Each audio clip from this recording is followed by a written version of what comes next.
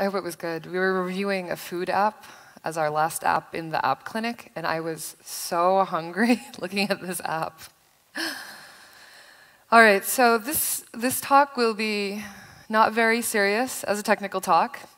It's mostly funny, it's full of illustrations. So if you're looking for something very intense technically, I won't look if you want to leave now. Uh, if you just want to have some fun after lunch, then you're in the right place. I will be talking about my tips for library development, and I am the startup developer in question. And this whole talk will be done in the style of XKCD because I'm a big fan of Randall Munroe.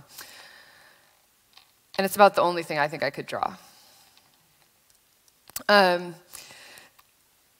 so this will be the Android Makers edition of my talk. Uh, my name is Lisa Wray, and um, I have worked as an Android developer in a number of companies, from the New York Times to Google, and now for a startup probably no one's ever heard of, and which is not available currently in France, called Present. Uh, we are a social network for women to connect in their local communities. Um, this is my Twitter handle. If you like my talk, feel free to tweet at me. If you don't like my talk, just keep it to yourself. But enough about me. We're here to talk about libraries. So I make libraries and I use libraries. And as a developer at my second startup in a row now, meaning I've been the sole developer of two Android apps in a row, I also have a lot of experience with libraries. And that's because I'm personally responsible for starting from file, new project in Android Studio, and picking out everything that goes into the final app that makes it into the Play Store. So as we all know, it starts out looking like this, and then pretty soon it looks like the Magna Carta. And that's because I also rely really heavily on libraries.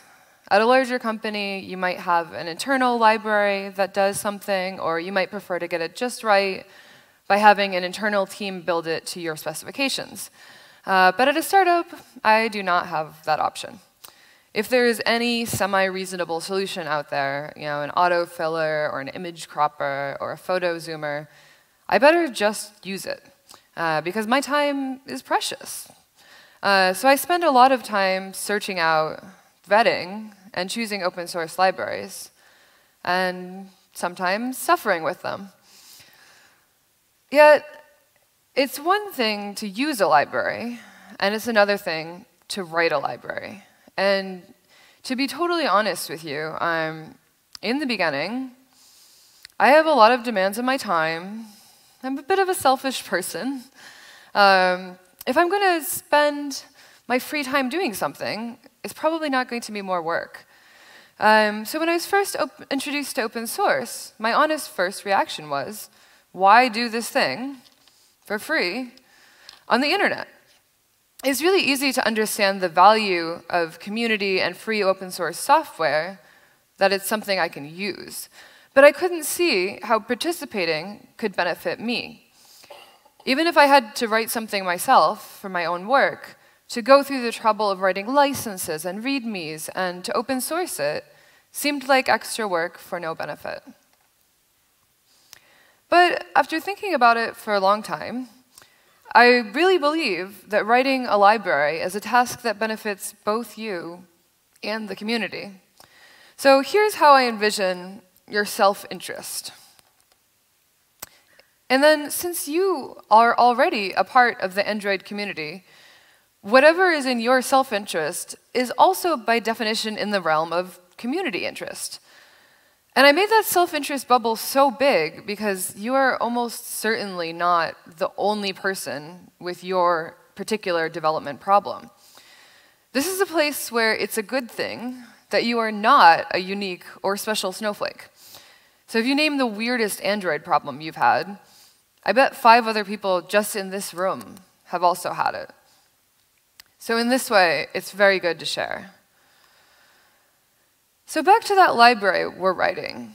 We've established that you're probably not alone, but what about writing that library for other people is in your self-interest? Well, I still think that making a library is a bit like joining a startup. Uh, it will probably not make you rich, unfortunately. It'll probably not get you famous, But it has surprising payoffs. Uh, it can't grant you equity, but you will find that it has other benefits. The first one, and I think the most obvious one, is that it can help you create modularity. We all know that modularity is an important part of software design, especially at scale. Well, it doesn't get much more modular than pulling parts of your app out into an externally published Maven dependency. That's a pretty hard line. And if it's hard to extract parts of your project, that probably means you needed to do it really badly. Modularity is also a really good reason to make parts of your project into a library to start, because you can enforce these boundaries from the very beginning. You can get community help by building a library. And in case that sounds kind of hippie for you, I'll translate. Other people are writing code for you for free. So I have an example for you. I had the opportunity last summer to work at the New York Times with my old team as a contractor. And since I was over the summer and they had actual interns, like young people, it was kind of fun. I was like the really old intern. No, not an experience you usually get to have. And I learned a lot over that summer. One of the things I saw was that their server team wanted to start using GraphQL. They wanted to be able to provide more efficient, personalized queries to the client apps. Now, whenever someone from the server team tells me, I'd like to make things easier for you on the app, I just jump for joy. But Facebook didn't provide an Android client.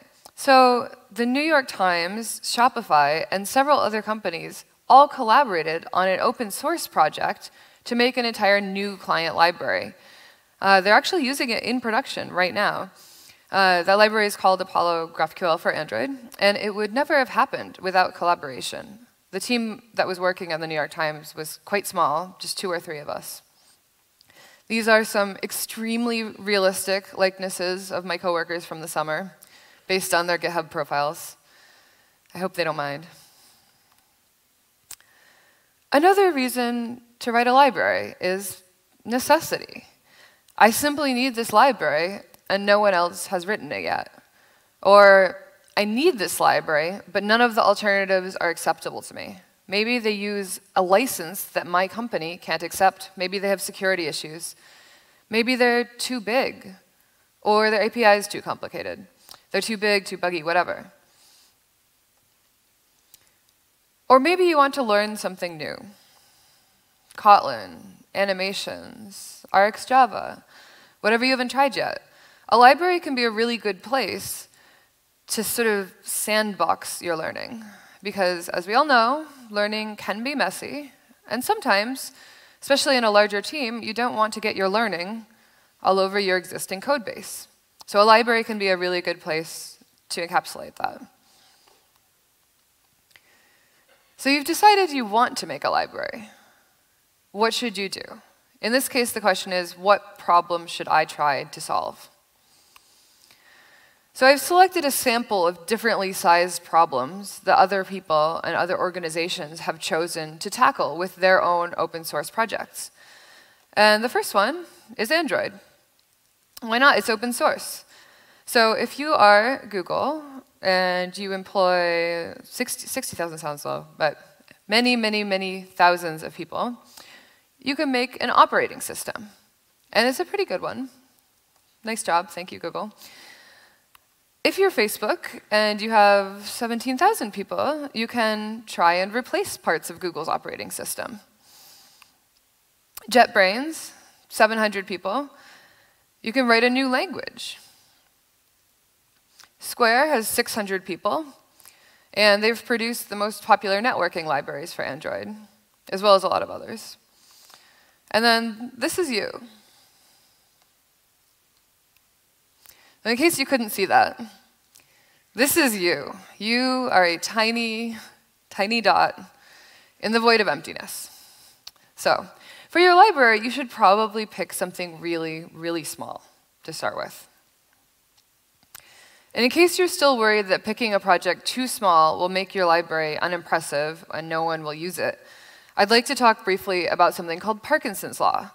You may have heard people throw into conversation that work expands to fill all available time. Well, this was actually coined in 1955 in a comedy essay by this guy, Cyril Parkinson, in The Economist. And what he actually talked about in this essay was he measured the bureaucrats of the British Empire at various stages, and he came up with this formula showing that uh, basically there will be inevitable growth of any organization. But the takeaway we seem to have taken in this day and age um, is that, as you can see, this formula is completely independent of the amount of work done. Uh, so no matter the size of any organization, it will always spend all of its time getting its work done.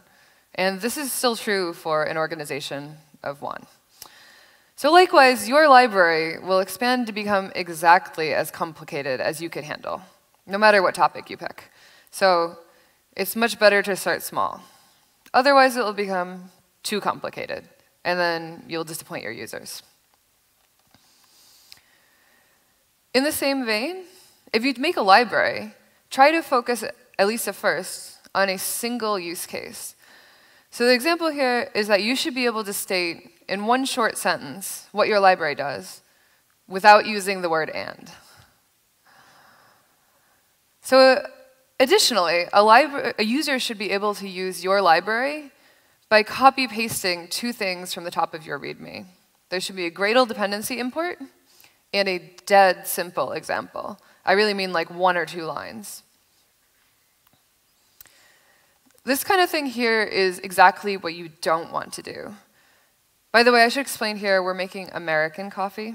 So we're going to pour water through and it's going to drip. And then we'll get a large cup. That may clear things up. So you can see to set up the coffee maker, I have to pick one of the preset types of filter, and then one of the preset types of grind for the beans, and then I have to pick the water temperature. Nobody in America knows what temperature you brew coffee at. They just want to press the button. So this is overwhelming to someone who just wants a coffee, any coffee. So your library can provide deep customization options, but they should be a click away on a wiki page or at least further down the page on the README. You should provide sensible defaults. Make the library start with those, and then once your users got it set up, once they have it running, if they want customization, they'll go looking. They'll know where to find it. The one really good thing this library is doing is that it's using composition over inheritance. This would be an example of a library that's using inheritance, and you can probably see at a glance what the problem is. Because we're forcing the user to inherit from a base class, and of course, Java is single inheritance, our coffee maker can be either coarse grind or slow drip, but not both. Um, this seems like an incredibly elementary example, but you wouldn't believe how many libraries are still like, use my cool adapter and just extend it. I'm even guilty of this. So don't do this if you can at all possibly avoid it. And going back to the composition example, even better than presets is delegation. So in this case, instead of you having to anticipate and build all the needs of your users, which is literally impossible, you can allow them to customize in whatever way they choose. You can just provide an interface for each option, which they can implement, and then you pre-supply the library with your sensible default. And an example that's done this really well and I think has inspired a lot of other libraries is Retrofit. Feature requests. So if you have any success with your library, and if you thought about it carefully, you probably will. You will start getting feature requests. For example, this issue where the user says, add pasta cooking capability to the coffee maker. I'm using this library to make spaghetti. Okay, so there's nothing wrong with using a library for something other than what it was designed for. Sometimes this is what makes us great as developers. We can think creatively and out of the box. Um, so there's a couple ways you can handle a really off-the-wall feature request like this. It's fine to say, you're welcome to send me a pull request, but this isn't a need of ours. So that's one option. That way you don't get stuck implementing a laundry list of features from other people that don't help you, the number one. You can also just say no. people are never going to stop asking you for things bug fixes, feature requests, maintenance, support, new support library updates. Um, but you, you can say no if you don't want to do it, as long as you say it nicely. In fact, you may be using, doing all the other users of your library a favor because none of them want to make spaghetti. You're keeping your library focused. You're keeping it simple, and that's good. That's a good thing. This request does not serve the core purpose of the library. But you could also ask yourself if your library is flexible enough.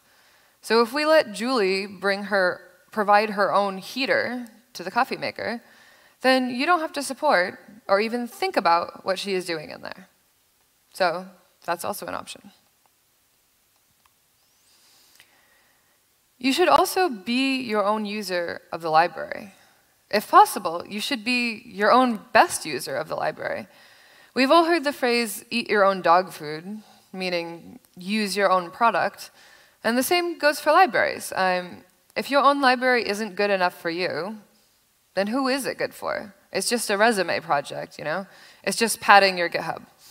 And I also argue that you should fulfill your company, your own needs, or your own company's needs first. Why is this? For, for one, you are going to be your library's own most dedicated tester. Someone else may find a bug and say, screw this, I won't use it anymore. You're stuck. So you want to be in the position of truly experiencing it. And having a real life need instead of an abstract idea for what a library should maybe do if you were to use it can help you keep it focused and simple. Honesty. This is a concept that's not talked about a lot in open source, but I think is important to think about. First of all, you should be honest about what your library does. I don't think people go on with the intention to lie, uh, but you see a lot of this stuff, which, which is bragging, when you read some library descriptions. But this kind of stuff doesn't really tell us anything about the library. It says a lot more about the library's author. So you want to be honest about your library's size and its scope. So it's fine to have fun with your description, uh, but you know, keep it real. We're, we're aiming for clarity here, not salesmanship. And you also want to be honest about your library's stability and maturity. And the best way to communicate that is through semantic versioning. I do know some people just generally think the number went up, must be a new release. Well, that's not wrong, uh, but if you're choosing the version number yourself, then you should know what it means. Uh, in very simple terms, the small number means a patch, a bug fix. Uh, the middle number usually means you've added new features. And the last one usually means breaking changes. It's a major version. So there's lots of great info out there on semantic versioning, so I'm not going to bore you with it.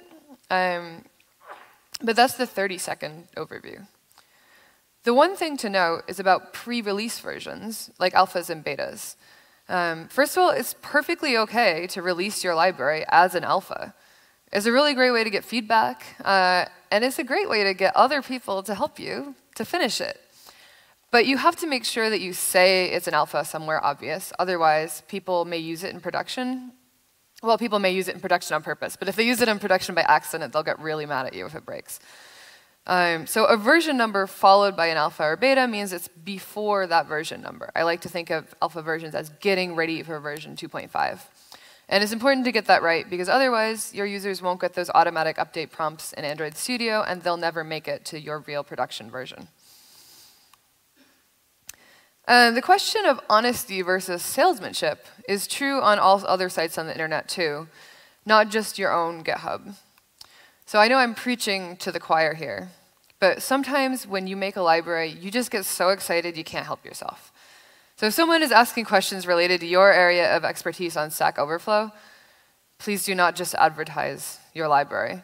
It's super annoying, we've all seen it, and everyone hates it until it's their own library. So what a user wants is for you to explain how making coffee works. If you truly can't help yourself, then just mention at the end after you explain it, and by the way, I made a library. You should use it. That way they can ignore it. If somebody really wants to use a library in the end, they do this. They just go to this site called Google, and they search for a library that does that thing. And it turns out Google's pretty good at doing this, so it works out. Testing. Testing is always a bit of a sore subject. So the first time you get a pull request, you may be incredibly excited. I know I was. And then you think, how do I know if this works or not? So you're going to have to pull down this contributor's changes, probably test them in your example app, assuming you have even written one. You have to try first and verify the problem they reported. Maybe you don't even know how to reproduce it. Then you have to try and verify that they fixed it. It's going to take a long time. I know because I started out doing this manually. And I started to dread getting pull requests, which is the complete opposite of how you should feel. Except now, I'm really excited to get them because I have a robust test suite and it's running on a continuous integration server like CircleCI or Bitrise or Travis or any number of ones like this that offer free accounts for open source, free, uh, and they require little to no customization to get set up for a simple Android project. So they will run your test suite of tests on every pull request, and they will put this beautiful, nice, big green check mark next to it. It goes a really long way toward giving you peace of mind. Not to mention, tests are, of course, a really good thing to have anyway, but I'm not here to tell you how to live your life. They're just really good for collaboration. Another thing I don't feel gets discussed a lot when starting is ownership. So even though a library is open source, so it can still belong to someone, to you, to your company, to someone else's company. So if you work at a big company, like Google or Facebook, this question probably starts before you even start at the company. When you sign an employment agreement, you are probably agreeing that anything you make at the company will belong to the company, and that includes all the open source that you write. So there's a couple options here. You can release your own personal open source projects, and the company will technically own them. Now, if your library is free and open source, that may not be a problem because you weren't going to make money on it anyway. And the community can use it and everything's okay. Uh, there might also be a process through which you can apply for an exemption. So like if your library doesn't have commercial value for that company, uh, if it doesn't invent something new, if you're just clearly having fun and it's, it's a fun side project, they might give you the copyright back. I don't know why it really matters, but just for kicks. Um, the, the other big option, which might be the reason to join the company in the first place, is that you can work on their own open source projects. You can join Facebook and work on React Native or Litho. You can join Google and you can work on Android. That's pretty cool. So that's a huge perk of working at one of these big companies, even if there are complications.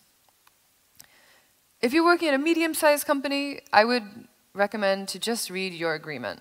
A lot of people don't. It probably, it could include boilerplate language like this, saying that they will own everything you write, uh, but you can almost certainly negotiate it or at least split the difference. It might not have any of this language in it at all. They may not care what you do in your free time. Uh, but that's why you have to read the document and not just sign on the dotted line. I have a job. If you work at a startup, on the other hand, you should still make sure it's okay. But they probably don't care what you do as long as you are still keeping up in your main job. The real problem you're going to have is that you probably won't have time to do anything at all except your startup job. And finally, we'll talk about competition. So you've considered your edge cases, you've written tests, you've approached your open sourcing with honesty and integrity, and now you're basking in the attention of like a thousand whole people on the internet. Well, some other company made a library that does the same thing. They even drew an icon by a professional designer. It uses annotation processing or whatever's cool this week. Uh, it's even made by that same startup with the Polygon logo that makes all those other cool libraries that are popular in Android. Now no one is going to use your library. Well, it doesn't mean you did it wrong. It doesn't even mean that no one will use your library. Sometimes great libraries do seem to have a monopoly in the community. An example being something like retrofit. But that isn't always the case. Uh, sometimes there are many really, really well done alternatives that are also quite popular. For example, Glide, Picasso, and Fresco. So at one point, the outward APIs of Picasso and Glide were so similar that you could almost switch the dependencies in your project by doing a structural find and replace. Um, why would anyone pick one over the other? And more importantly, why would the maintainers of these libraries bother to keep doing this duplicated work? Of course, the answer is that these libraries are not the same. They're actually different in various ways. They have different implementation details. Some have extra features. But more than that, nobody needs to win when there's enough community support for everyone. Every single Android app does image loading. So we can support a lot of image libraries. So even if there are many libraries dealing with a topic, if none of them speak to you, it's totally okay to consider attempting it yourself. But first, I would stress that you should ask yourself what is specifically wrong with the existing alternatives. And then if you think you can improve significantly on those problems, then consider making your own. And finally, deprecation comes for everyone at some point. Don't expect immortality from your library. Especially if you are backporting something that you feel is missing from the Android library. They may not get to it in the timeline you would like, but the odds are that eventually, especially if your library gets popular, there's going to be a first-party alternative that's going to deprecate yours. So here, the smaller and the more focused your library was to start with, the less this is going to hurt. It means you successfully identified a need, you made a useful contribution to the community, you got a great experience, you learned a lot, you made connections. I know I'm sounding kind of hippie, but you had a great time. This library was worth it. So if there's anything that you take away from this talk, it's that a library, especially one for mobile phones, is one of the few places where the smaller the task you choose, the better your contribution can be. So it's a really great place to practice your craft in isolation, away from the craft of a real project. And so if you're thinking of getting started, I would encourage you to look inside your app and see if you have even one or two lines of boilerplate code that you repeat over and over, or uh, an extensions.java class, or a sorry, or an extensions.kt class, or utils.java class and see about publishing that as a library. It may seem to you as though your library is small and trivial, but we in the community thank you for keeping your libraries focused and simple. And finally, you're not alone. If you have a problem, I can guarantee you other people have that problem too and would love your solution. So that's all I have. Thank you very much. And if you have any questions about my drawings or about open source in general, um, we have a bunch of time to take those.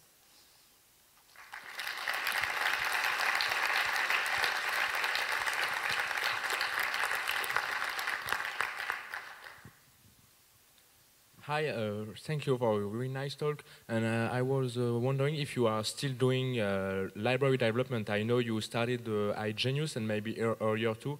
I didn't follow all the Android libraries out there, but uh, I, I, was. Uh, I would like to know if in a startup environment you can still really do open source development that may not already always benefit directly your company because you have to keep up with versioning, with uh, managing deprecation, and a lot of stuff that don't benefit directly your, your projects.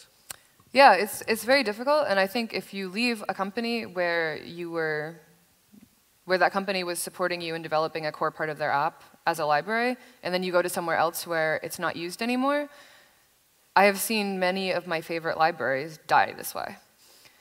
I was lucky in that my, the work I started at Genius was my pet project, and I've been able to bring it into my new app. So I'm happy to say that although I don't do it quite as much as I'd like, I still do actively maintain um, the library. Um, but it is, uh, it is true that when you switch jobs, especially if your company was sponsoring it or if your company has ownership of that library, sometimes it's end, end days for the library. Uh, in this case, they actually gave me the ownership of the library, although they didn't have to. So.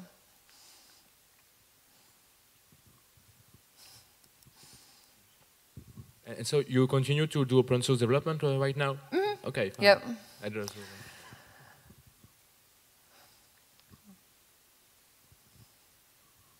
All right. Thank you very much. If you have any questions, feel free to talk to me later.